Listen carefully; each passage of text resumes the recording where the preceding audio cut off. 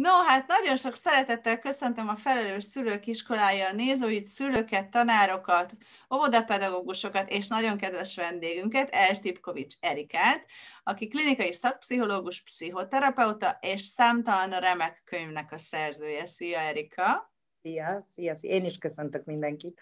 Nagyon köszönöm, hogy áldozol ránk időt, és egy kicsit beszélgethetünk, méghozzá a legfrissebben megjelent könyvet kapcsán, amit meg is mutatok, ugye szeretetre éhezve, majd erről a címről is beszélgessünk, és ugye 11 tévhit a kamaszokról, nem csak szülőknek. Na hát már a cím is nagyon hangzatos, de rögtön induljunk onnan, ugye itt pályaválasztás, iskolaválasztás, pandémia, minden is van, digitális és online oktatás, nyilván rendkívüli időket élünk, és hát a szülőknek is nagyon kell bizony a szakmai irodalom és az emberi hozzáfordulás és a, és a tanácsadás.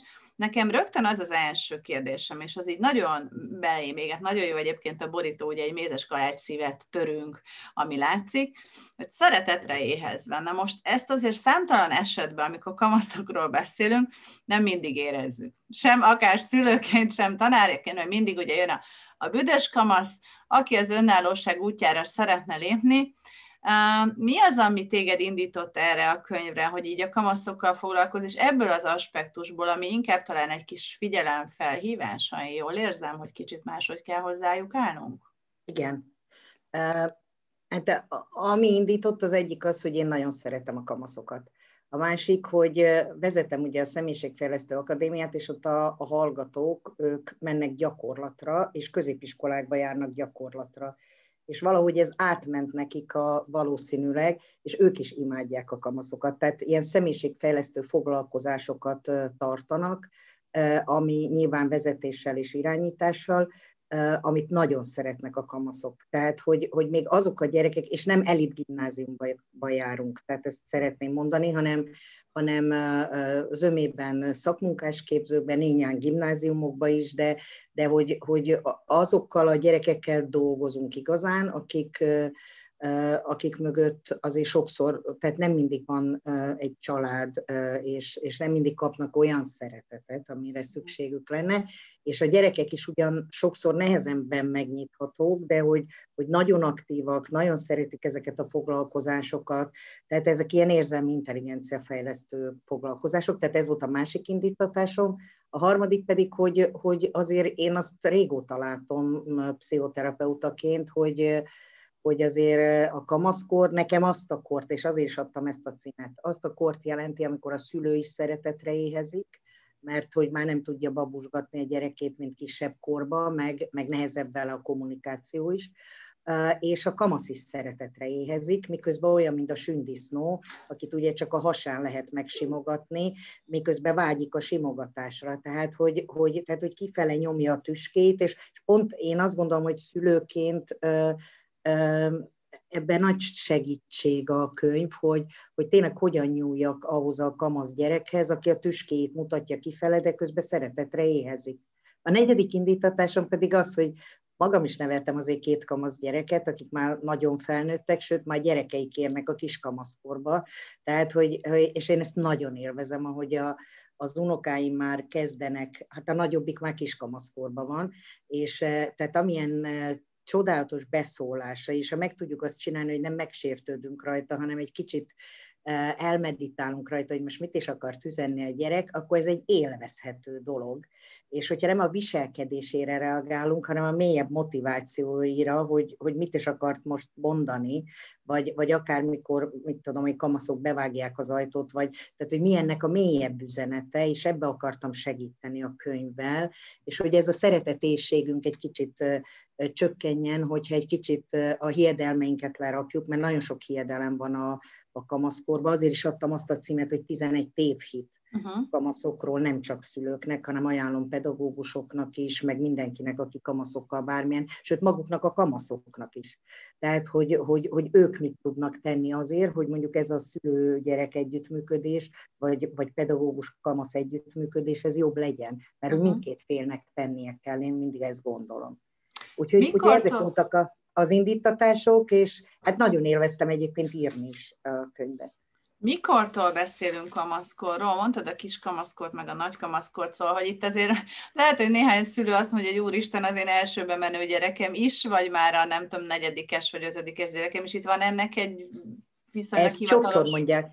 Aha, ezt sokszor mondják a szülők, hogy már, mit tudom én, elsősként vagy másodikosként kamasz jegyeket, tehát hogy Igen. visszaszól, hogy, hogy kicsit pökhendibb, hogy, hogy mit megsértődik, bevágja az ajtót, tehát hogy ezek már, Ez már a korábban, á, korábban vannak, e, tehát, hogy igazán a, a, a kamaszkor az ilyen, ilyen, ilyen 9-10 éves kor körül kezdődik, tehát a kis kamaszkor, és, és hogy igazán ma mi a probléma, hogy nagyon sokáig tart.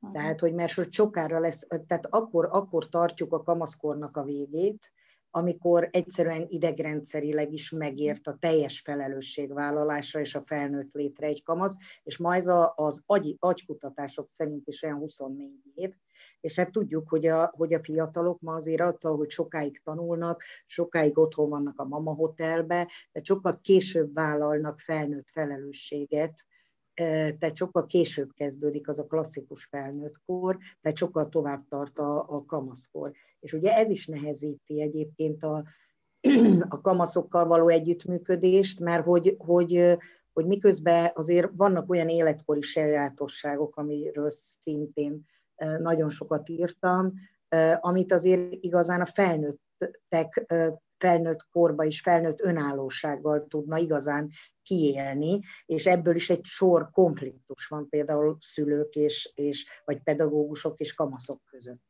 A, azt a részt is megvilágítod a könyvedbe, amit így akár saját élményként hoznék be, hogy ehhez azért nekünk is meg kell tanulni, hogy önállóságra hagyjuk a gyereket hogy a döntéseinek a következményét megtapasztalja, nyilván különböző horderejű. Tehát, hogy például a szülők edukációja, vagy a tanárok edukációjában, ez például fontos, hogy hagyjuk őt az okokozatot megélni, hogy minél hamarabb eljusson azért ahhoz a tapasztaláshoz? Ugye, ugye azt, kell, azt kell tudni, hogy, hogy a, és válaszolok mindjárt, csak, csak ez fontos hozzá, hogy, hogy a kamaszkornak van négy legjellemzőbb jellemzője.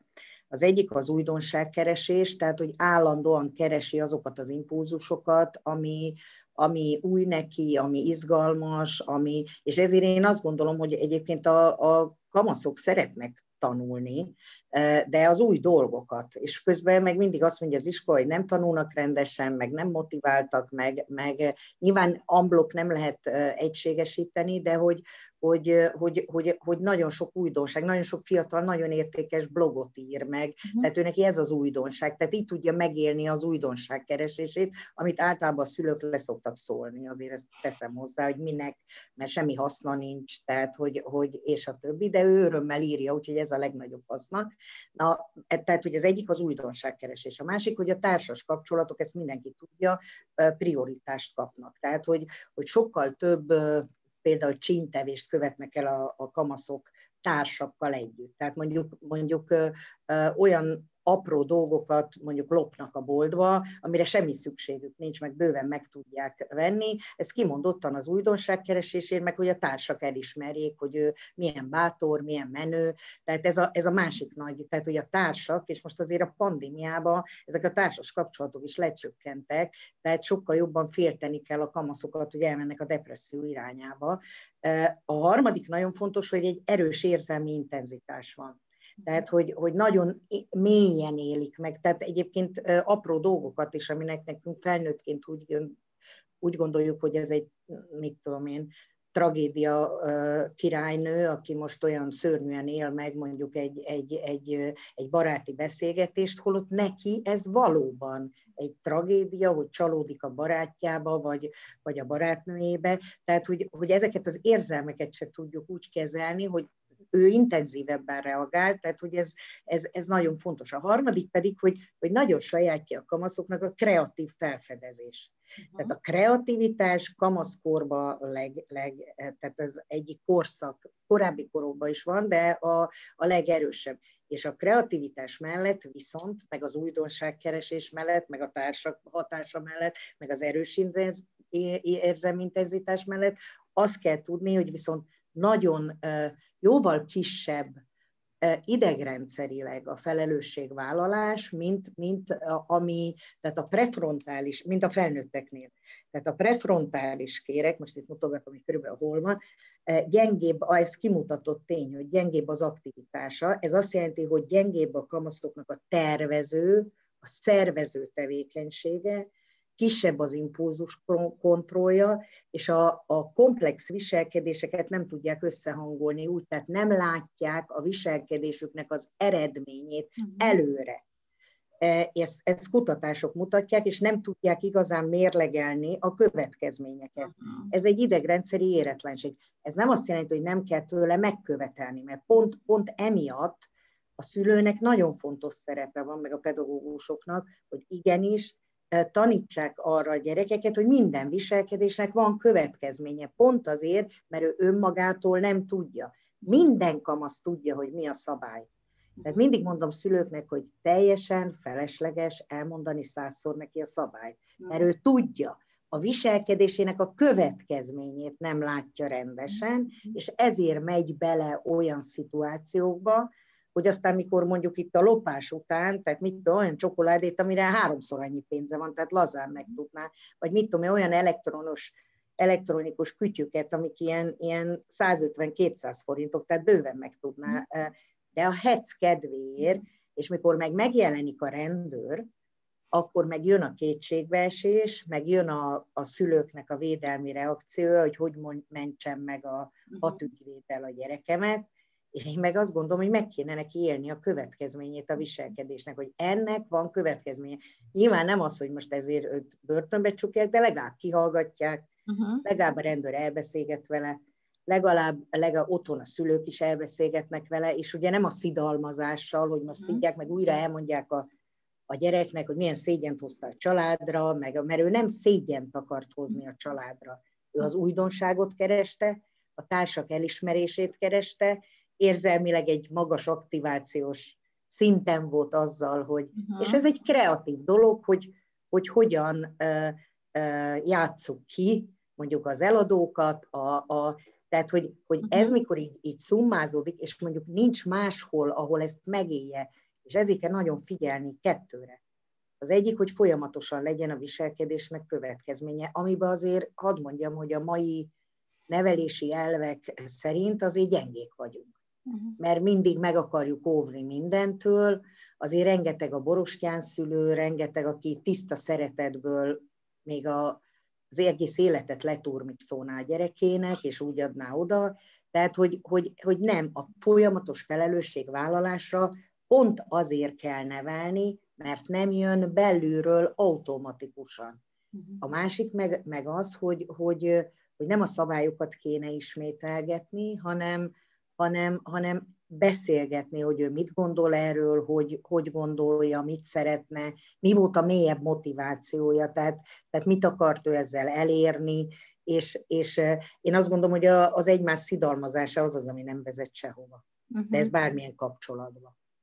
Uh, hogyha én ezt jól fordítom magamnak, akkor azt mondod, hogy az önreflexiójuk, az önkontrolljuk még egész egyszerűen testi felépítésből, idegrendszeri éretlenségből gyengébb. Tehát akkor valahol ezt a szűrőt nyilván a szülőnek is, meg a pedagógusnak is be kell építeni, mindazok mentén, hogy a kereteket azért megtartja, az okokozatot és a következményt odahozza, de valahogy egy olyan védőháló, hogy akkor kapja el, hogyha nagyon nagyot koppanna. Ez valahogy így értendő?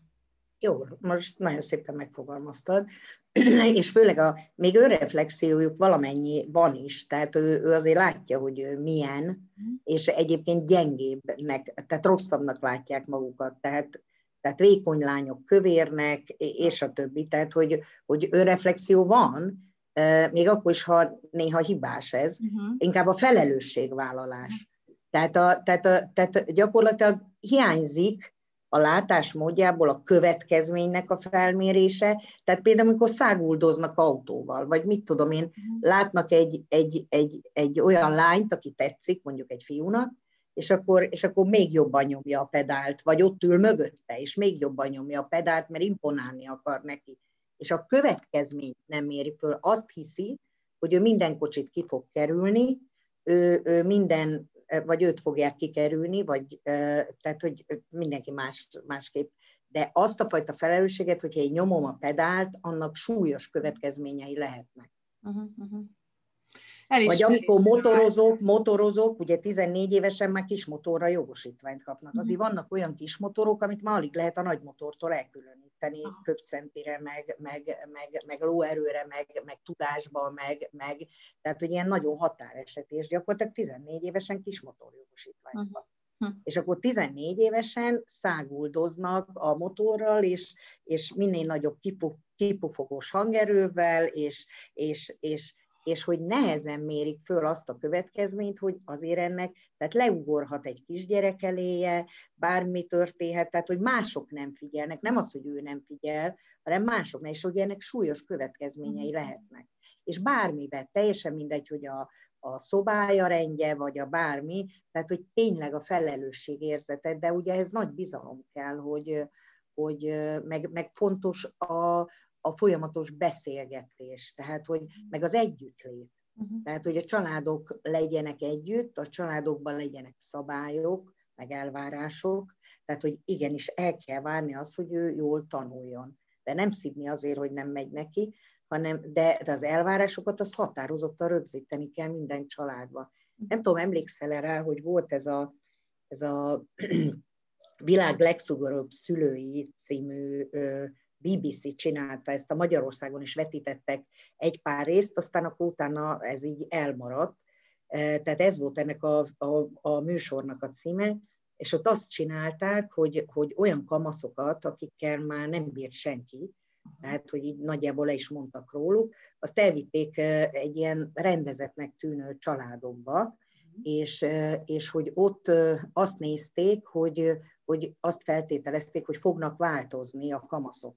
És való igaz így volt, hogy, hogy hetek alatt változás történt a személyiségükbe is, tehát nem csak a viselkedésükbe, hanem mélyen, mélyebb szinten, és ezek a családok nem csináltak semmi mást, csak voltak határozott szabályaik, tehát hogy kinek mit kell megcsinálni, ki miért felelős, tehát apró dolgokért, kinek mi a feladata a háztartásba, mit illik és mit nem illik csinálni, mondjuk a mi házunkba, hogy meddig lehet tévét nézni és internetezni, minden családtag ott legyen a vacsoránál és a reggelinél, tehát, tehát legalább reggel meg este legyünk együtt. Azt is meghatározták ezek a családok, hogy, hogy mi jár a szabályok be nem tartásáért és megszegéséért, tehát volt következménye a viselkedésének, és a szabályokat, ez a nagyon fontos, hogy a szabályokat a szülők is betartották. Uh-huh. Elvárták a gyerekektől, hogy tanuljanak, lehetőleg jó jegyeket szerezzenek, és volt egy csomó közös családi program, és felelősséggel tartoztak végig a feladataikért, uh-huh. meg a szavaikért. Tehát azért is, hogy én azt mondtam, hogy jó, szombaton elmegyünk a nagymamához. De ebbe együtt egyeztek meg, hogy ez szombat legyen, vagy vasárnap, és, és, akkor, és akkor ott elmegyünk, de ha szavát adta rá, hogy jó, szombaton megyünk a nagyihoz, akkor neki szombaton menni kellett a nagyihoz. Tehát, hogy, hogy ezek a fajta, és ezek, ezektől a, és, és nagyon érdekes, a film bemutatja azt is, hogy, hogy ezek a gyerekek, és terápiában is nagyjából ezeket csináljuk, tehát kamaszokkal, hogy, hogy ezeket megpróbáljuk kialakítani, meg kiépíteni, hogy, hogy, hogy a család jobban tudjon működni, és benne a kamasz is, meg a mhm. szülő is jobban tudjon működni, és, és hogy, hogy ezek, ezek a kamaszok csodálkoztak a legjobban, hogy itt leülnek együtt reggelizni, meg vacsorázni, hogy itt, itt, itt következménye van a viselkedésnek, uh-huh. hogy, hogy tehát, tehát gyönyörűek azok a képek, amik bemutatják, hogy hogy, hogy hogy csodálkoznak azon, hogy ő valamit nem csinált meg, és azt apa nem engedte elsikkadni, uh-huh. hanem leütette és megkérdezte, hogy hogyan van ez, uh-huh. fiam, hogy, hogy ezt, a, ezt te nem csinál, te feladatod a mosogatógépbe bepakolni, és nem pakoltál be, uh-huh. akkor most ezt hogy látod, mi van ezzel, meg, és akkor, és akkor ezen csodálkoz, tehát ott megszólaltatják ezeket a kamaszokat a filmbe, és arról beszélnek, hogy, hogy, hogy, hogy mennyire csodálkoznak azon, hogy, hogy hát itt, itt apa nem felejtette el, hogy ő valamit mhm. nem csinált meg, tehát hogy egyáltalán erre odafigyel. És, és hogy, hogy, hogy ennek még egy mondat, hogy a mély lélektana az, hogy, hogy, lehet, hogy nem tetszik ez akkor a kamasznak, és mégis azt éli meg, hogy, hogy, hogy figyelnek rá, uh-huh. hogy ő fontos, uh-huh. hogy, és mindenki fontos akar lenni, hogy ő meg van becsülve uh-huh. azzal, hogy az apa emlékszik rá, hogy mibe egyeztünk meg. Uh-huh. Uh-huh. És azért ne felejtsük el, hogy a megbecsülés az egy alapszükséglet uh-huh. az emberi pszichébe. Tehát, hogy, és ők, ők, ők ezt megkapják. Ezzel, miközben követelmények vannak. Uh-huh. Uh-huh. Azt akartam csak mondani, hogy milyen tulajdonképpen triviális és egyszerű dolgokat mondasz, és mégis milyen mélyre megy. Persze nehéz, mert az embernek van egy saját munkahelyi szerepköre, tehát ugye sok szerepkörben működünk mi is szülőként, meg a tanár is de ez a keretrendszer, ez ugye kicsi korban is nagyon fontos, de utána egy kicsit ezt így hajlamosak vagyunk ilyen amúba formába így, így elengedni egy kicsit, így azt mondani, hogy, hogy mindegy, minden mindegy is, és mégis ez hogy visszahat. Szóval, hogy ez egy nagyon érdekes dolog. Egy picit a könyvedre így konkrétan rátérnék, mert van nekem néhány kedvenc pontom abból, amit itt így kiemeltem. Az egyik, az első, az a kamaszkor túl kell érni, majd lecsillapodnak a hormonok. Hát erről azért egy kicsit beszélgettünk, de hogy tovább lépve, és nem fogunk elmondani mindent, úgyhogy tessék elolvasni, meg megnézni, mert azért tényleg nagyon-nagyon izgalmas és tartalmas, a kamasszal lehetetlen kommunikálni. Ez a negyedik tévhit, amit hoztál. Ezt most egy picit érintettük, de azért erről egy pár gondolatot, hogyha mondasz, hogy ö, nekem az a tapasztalatom, hogy sokszor beszélgettünk erről, hogy itt ugye teljesen fordított ez a dolog, hogy nem akkor fog a kamasz kommunikálni, amikor mi leültetjük, és mélyen a szemébe nézünk, és feltesszük az általában nagyon borzasztó kérdést, hogy na mi a baj, miben segítsek, hanem nekünk kell valahogy rendelkezésre állni, és talán ezt egyszer a Léder Laci mondta, aki az APA Akadémiának az alapítói pszichológus, hogy a jelenlét, a nevelés az jelenlét. Hogy erről te mit gondolsz, hogy egy szülő hogy tud támogatólag ott lenni, ha, ha akar kommunikálni, már pedig nagyon remélem, hogy akar. Hát ez, ez tehát, hogy a kamaszok nem akkor akar, tehát ez, ez tény, hogy nem hm. akkor akarnak kommunikálni, mikor a szülő akar. Tehát, hogy nagyon sokszor van, nekem millió szülő elmondja, hogy, hogy, hogy, hogy ő neki az idegeire megy, hogy mikor ő este 11-kor hót fáradt, akkor akar beszélgetni. Tehát, hogy, hogy és hogy tudjuk-e azt csinálni, hogyha ő este 11-kor akar beszélgetni, én akármilyen fáradt vagyok, hogy akkor is tudok egy kicsit ráfigyelni. Tehát, hogy, hogy, mert hogy ez nagyon fontos, hogy, hogy, hogy akkor beszélgessünk valóban, amikor ő akar. És ugye a beszélgetésnek is vannak ilyen úgynevezett kommunikációs sorompói, ezek megint minden kapcsolatban. Tehát ugye ilyen a, a szidalmazás, a, a, az ilyen faggatóc kérdezgetések, mert ugye a lényeg az a kommunikációban, hogy én valakivel beszélgetni akarok, akkor az ő fejével tudja gondolkodni az ő lelkével tudja érezni. Na most honnan tudom, hogy mi van az ő fejével? Csak az, hogy kérdezem. De nem ilyen sugalmazó kérdést, mert én mikor sok szülőnek mondom, hogy kérdezze a gyerekét, de ne akkor, mikor nem akar beszélni, hanem lehetőleg mikor akar, akkor is csak hallgassa meg. A kamaszok nem kioktatást akarnak. Mm. Tehát, hogy én elmondjam a bölcsességét, mert amit mondtál, hogy a szülői jelenlét. Én azt gondolom, hogy a kamaszkorig tehát ezt körülbelül úgy képzelem el én a személyiségfejlődést, hogy a, a ház a kamaszkorig fölépül. Onnantól már csak a szépítés megy, hogy hogyan színezzük, milyen legyen a kerítés, az udvar, a, amit, de a falak, a tető, tetőig készen van a személyiség. De onnan finomodik még. Tehát onnan még egy csomó értelmi fejlődés van, tehát hogy mi minden tudásszív magába. De az alap, alap viselkedési szokások, azért, és e, ebbe kell bízni minden szülőnek kamaszkorban, hogy, hogy bármennyire is elfordul a gyereke, e, vissza fog térni. Tehát millió szülő mondja, és aztán visszatérek a kérdésedre, hogy, hogy milyen rendetlen a gyerek, pedig ő nem így nevelte. És aztán persze kamaszkorban rendetlen, utána megjelenik mondjuk az első barát vagy barátnő, és olyan pakra kitakarítja a szobáját, hogy, hogy, hogy, hogy, hogy öröm nézni. És mikor már egyszer saját lakása lesz 28 évesen, akkor, akkor ott olyan rendet tart, hogy még a szülővel is leveteti a cipőjét, meg a, tehát visszatér az, amit ő kiskorába, tehát végig mondjuk 11-2 éves koráig magába szívott. Uh-huh. És egy nagyon fontos a kamaszkor, mert még sokat lehet rontani, meg, meg sokat lehet uh, uh, még, még korrigálni is, de azért abban hinnünk kell, hogy, hogy tényleg ott, ott már csak egy olyan fajta jelenlétre van szükség, amit előbb mondtam, hogy milyen szabályok mentén élünk, és, és hogy, hogy, hogy, hogy valóban, mikor beszélgetünk, akkor viszont rengeteg kérdést, tehát hogy nyitottak legyünk, és ne az én fejemet akarjam lenyomni az ő torkán,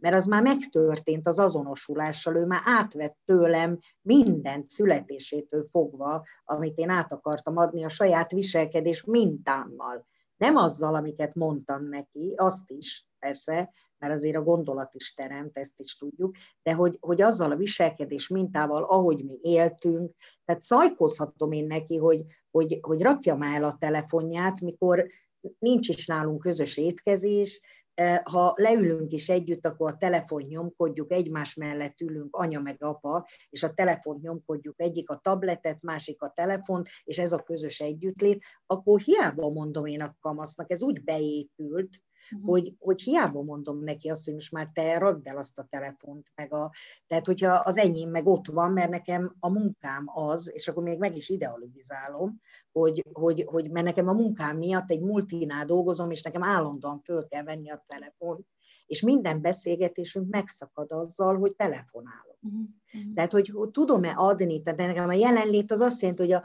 tudom-e adni a figyelmemet, tehát, hogy nem csak az, hogy jelen vagyok fizikálisan, hanem hogy lelkileg vagyok jelen. Tehát az azt jelenti, hogy csak ráfigyelek, és azzal is mutatom, hogy figyelem őt, hogy, hogy, hogy kérdéseket teszek fel, és lehetőleg nem sugalmazott. Tehát nem azt kérdezem, hogy ugye, ha tanultál volna, nem kaptál volna egyest.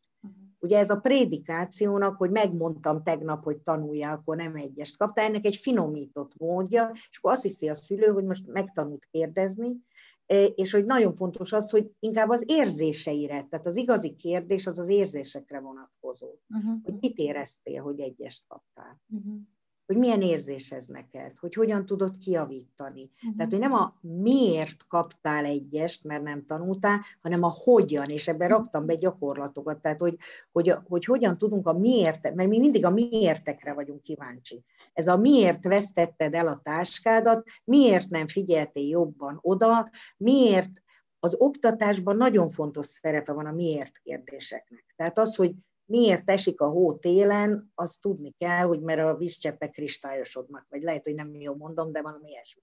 Tehát, hogy a miért kérdéseknek nagyon az oktatásban, de egy, egy kapcsolatépítésbe, nem a miérteken, tehát, hogy miért loptál fiam, mikor mert van pénzünk megfizetni, hanem, hanem két kérdés van, hogy mi történt, mit éreztél, ez a másik kérdés, tehát, hogy mit éreztél akkor, meg, meg mitől volt ez olyan fontos, meg, meg, meg, tehát, hogy milyen belső érzéseid vannak, és a harmadik, hogy hogyan. Hogyan tudod jóvá tenni. Uh-huh. A jóvátételnek nagyon-nagyon fontos szerepe van kicsikortól kezdve, de kamaszkorban aztán különösen, mert az, az is vissza a felnőtt felelősségvállaláshoz, hogy nem félistenek vagyunk szülőként se. Uh-huh. Tehát nem vagyunk tökéletesek.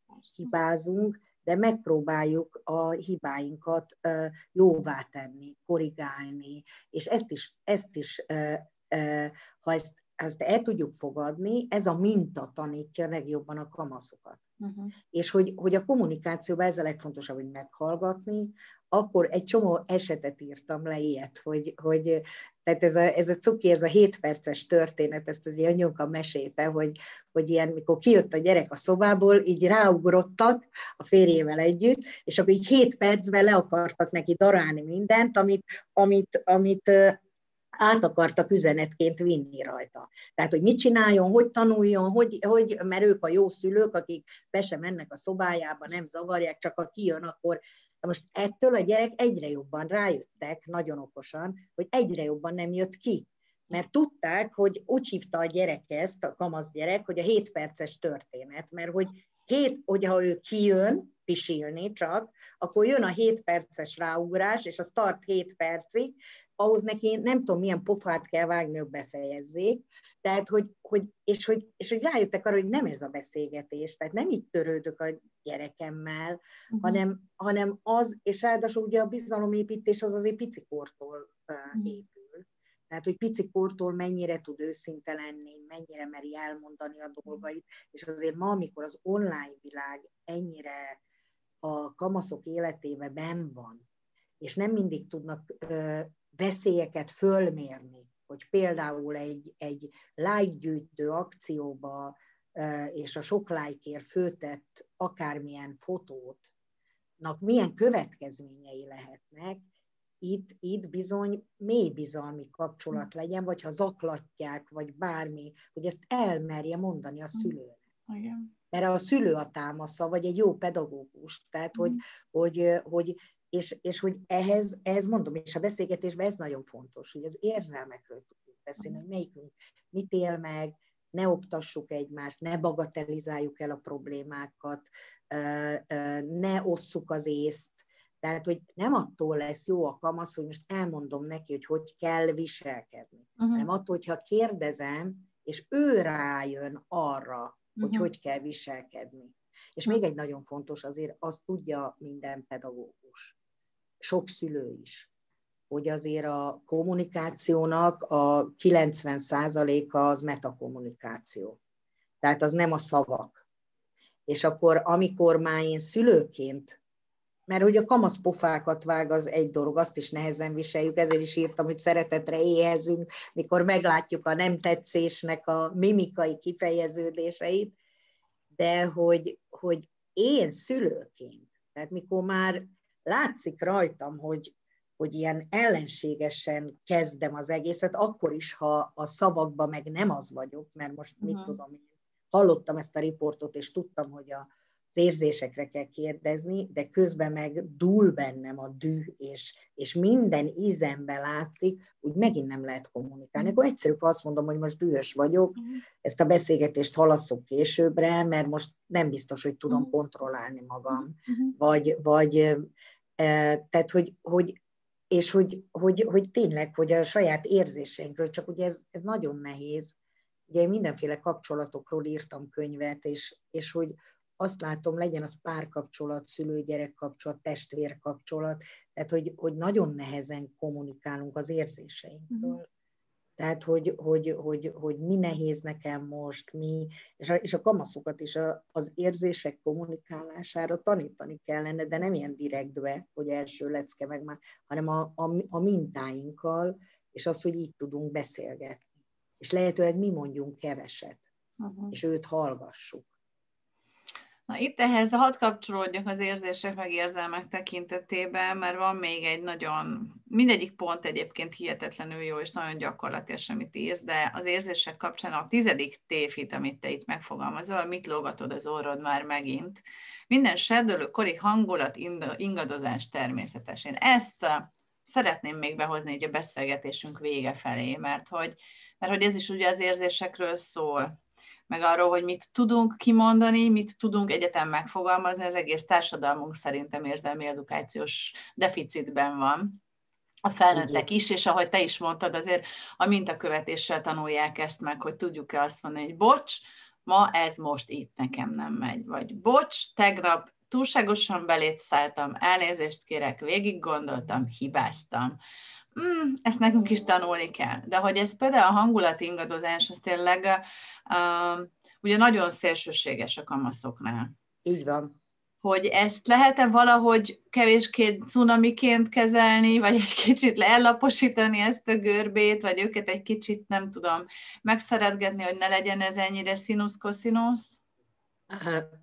Én azt gondolom, hogy azzal, amit az előbb a a családi rendszerről mondtam. Uh-huh. Tehát, hogy rendszeresen van beszélgetés, közös étkezések, közös programok, most ezeket nem ismétlem el. Okay, okay. Tehát az egyik az, hogyha ez folyamatosan van, természetesen úgy, hogy kamaszkorban már együtt állapodunk meg a, uh-huh. a közös programokról, és azt mindegyikünk betartja. Uh-huh. Tehát, hogy, hogy, tehát, hogyha ezek, ezek vannak, akkor én azt gondolom, hogy, hogy kevesebb ez az érzelmi ingadozás.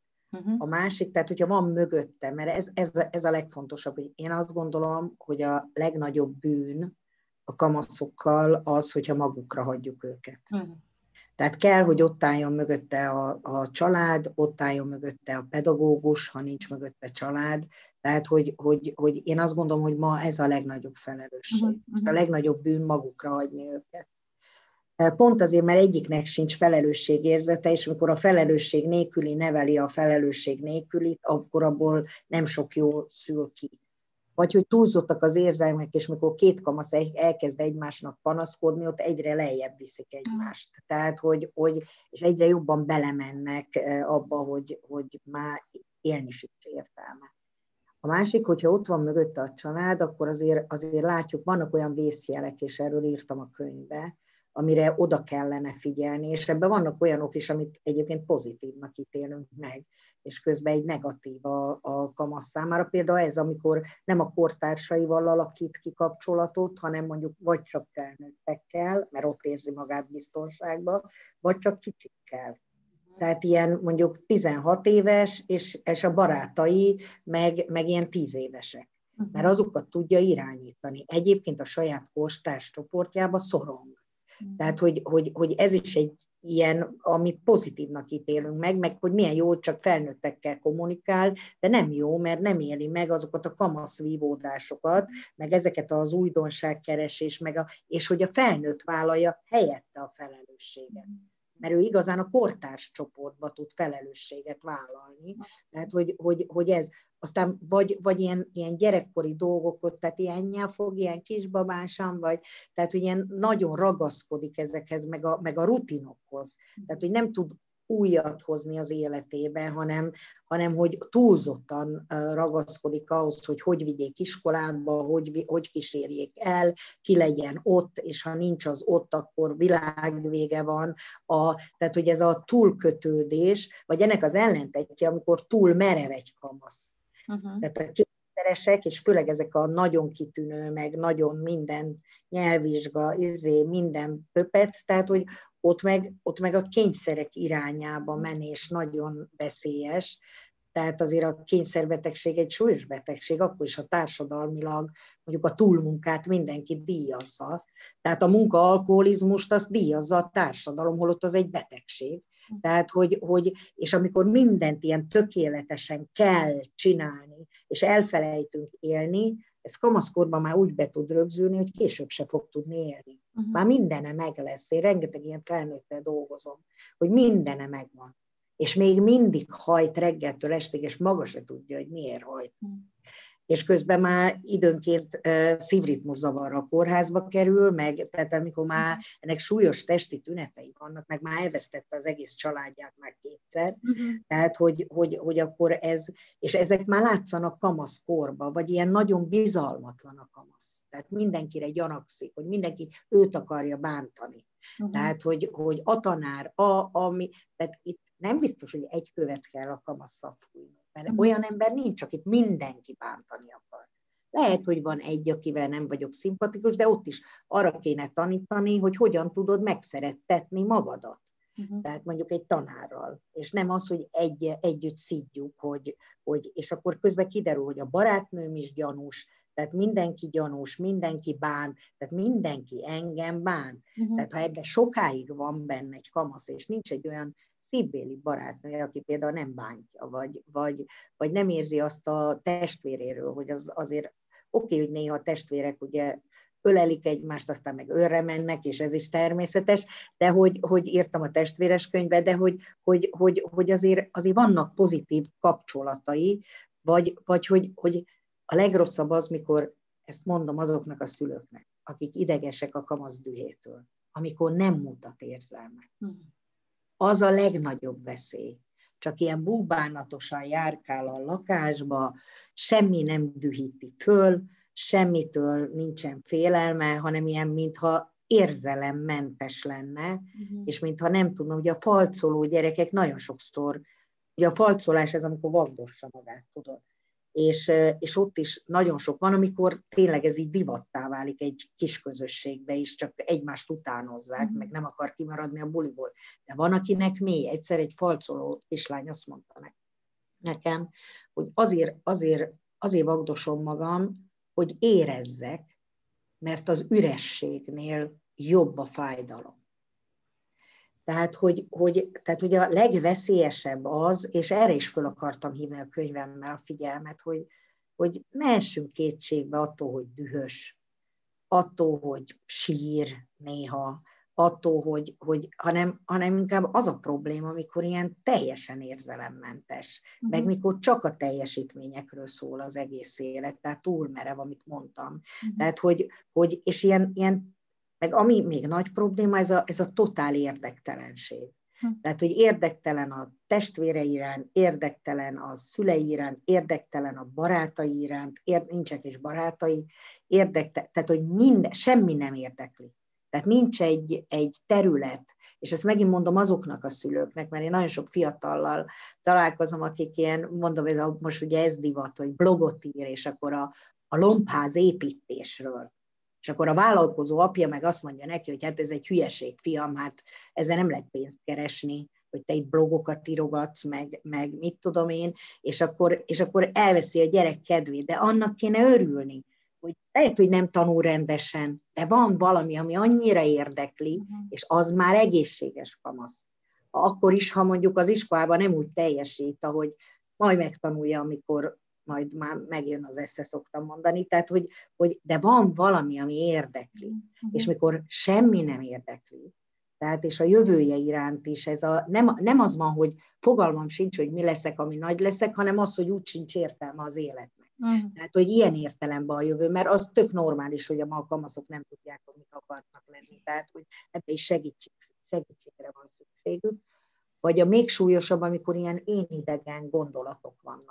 Tehát, hogy elvisznek az ufók, meg a, mit tudom, tehát, hogy ilyen, ilyen teljesen rajtam kívülálló uh-huh. dolgok irányítanak. Ezek olyan vészjelek, amiben amire nagyon oda kell figyelni szülőként, és, és segítséget kell, kell kérni. Mert még egyszer mondom, hogy ha vannak érzelmek, az, az jó. Például a dühöt kezeljük ugye a legnehezebben, tehát, tehát mi felnőttek, és egymást mondjuk egy párkapcsolatban is.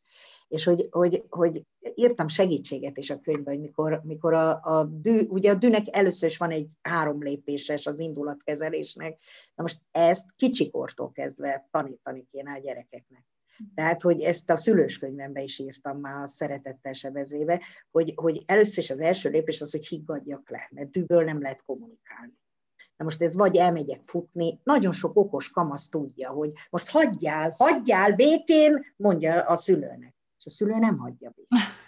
Pedig békén kéne addig hagyni, amíg lehiggad. Ebben meg kéne egyezni, hogy jó, higgadjál el, most ütöd a párnát, vagy elfőhúzod az edzőcipét, és elmész futni, vagy tehát, hogy meg kell tanulni, hogy ki hogyan tud lehiggadni. Én felnőttként is. Uh-huh. Hogy mitől tudok lehiggadni. A második lépése az, hogy, hogy ki tudjuk mondani azt, hogy, hogy, hogy mit érzünk. Uh-huh. Tehát, hogy abba a helyzetben, amikor dühös lettem, hogy mit éreztem, mi bántott, mi fájt, mi, mitől fétem, mitől fétettelek gyerekem. És a harmadik lépés, hogy találjunk megoldást. Mert a dühös helyzetek akkor nem ismétlődnek, hogyha ha találunk erre egy közös, és közös, a kamaszokkal már közös megoldást. Hm. Tehát, hogy mondjuk, mondjuk amikor ő, ő mondjuk még nyomja, megegyezünk, hogy nyolckor kikapcsolja a számítógépes hm. játékot. De ő nem kapcsolja ki nyolckor, ugye akkor a szülő finoman figyelmezteti, és akkor kilenckor, kilenckor még mindig ott nyomja, mert várja, apa, várja, mert nem fejeztem be, meg törörörö, még, még ezt le kell játszani, meg itt pontot gyűjtök, meg nem tudom. Na most, ha, ha, ha, ha itt, itt uh, nyilván ennek van szabálya, és van következménye, hogy a megegyezésünket nem tartotta be.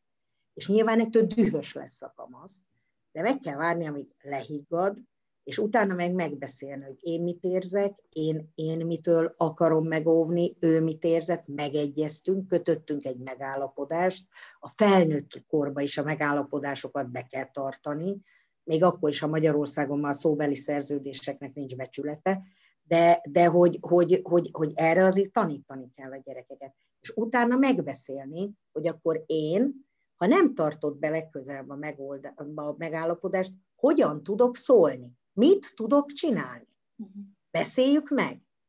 és akkor, akkor, de mikor túlzottan dühösek vagyunk, na most ez nagyon fontos, és erről írtam sokat a könyvembe, hogy azért nagyon sokszor a, a, a tehetetlen dűbe a saját gyerekkori sérüléseink szülőként bemozognak.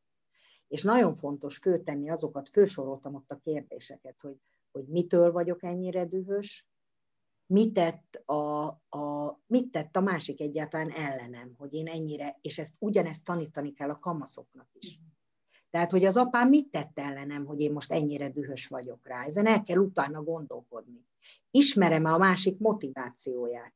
Tehát mi motiválta őt, hogy ebbe a helyzetbe legyen? És, és, és mik, mik a, azok, amit, amit, amit én erről a helyzetről gondolok?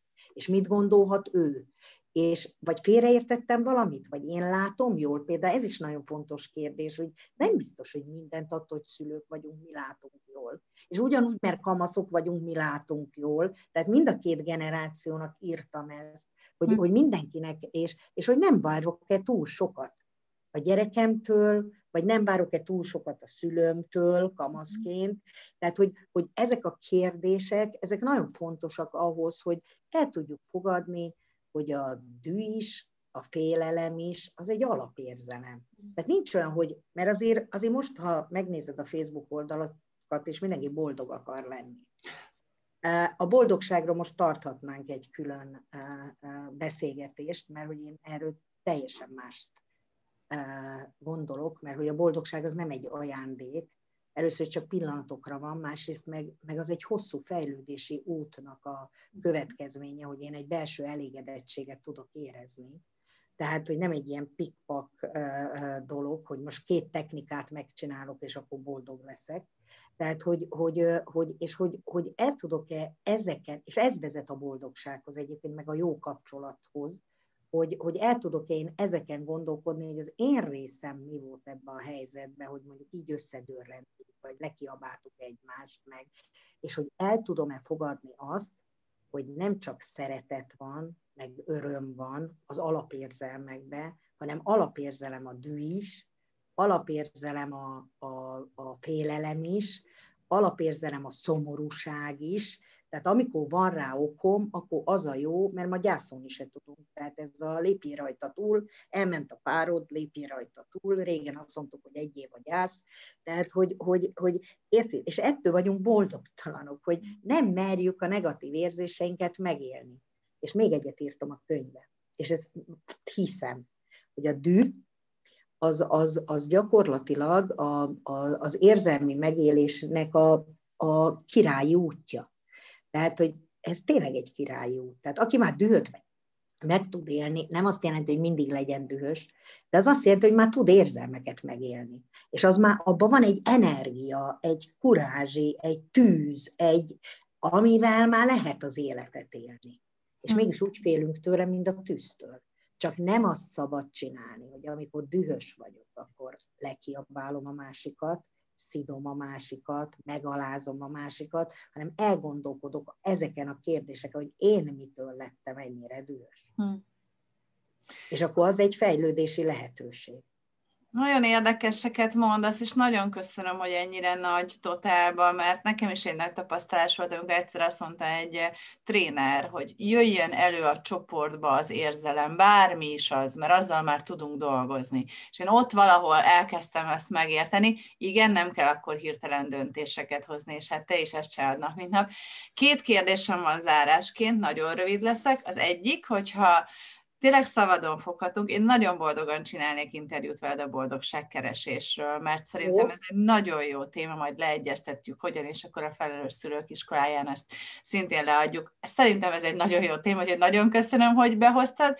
A másik, hogyha valaki szeretne többet, mint ugye a HVG könyveknél jelent meg már sok-sok témában, de ez a kamaszokról szóló, a nagyszülők a kispadon, a testvérféltékenység, tehát számtalan tényleg kiváló könyved van, lehet-e esetleg személyesen téged keresni, vagy a Személyiségfejlesztő Akadémiát lehet-e valahogy úgy kapcsolni, ha valaki ezeket elolvast, és azt gondolta, hogy többet, jobban szeretne még ebben elmélyülni, segítséget kérni? Igen, a, az akadémián csinálunk önismereti csoportokat is, meg, meg amit személyesen én is vezetek kollégáimmal együtt.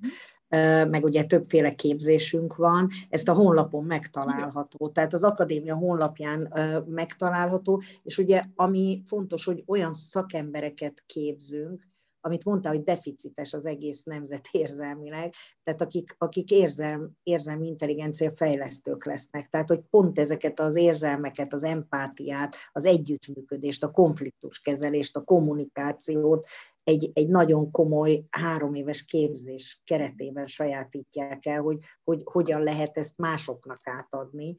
Tehát, tehát, tehát én nekem ez ilyen elhivatottságom, hogy, hogy, hogy és örültem a mondatodnak, hogy tényleg ezt a, ezt a deficitet ezt be lehetne pótolni, és, és akkor lenne mindenki boldogabb, hogyha egy magasabb érzelmi intelligenciával tudnánk működni, és ez az, ami halálunkig fejleszthető. Hát legyen így, akkor a videó leírásba majd a weboldal linkjét, meg minden ilyesmit beletesszünk, és akkor megtalálnak benneteket. Nagyon köszönöm, Erika, nekem is személy szerint is nagyon sokat adtál, és én azt gondolom, hogy a minket néző felelős szülőknek, tanároknak, oktatásban dolgozóknak, hát mindenkinek is, aki kapcsolatba kerül ezekkel a cukikamaszokkal, akikkel nem mindig könnyű, de talán a könyved alapján is több mindent megértünk hozzá, úgyhogy nagyon szépen köszönöm, és akkor visszavárunk a boldogságkeresés témával. Jó, köszönöm szépen. Nagyon és én szépen is... köszönöm. Nagyon szép napot köszönöm. neked. Köszönöm.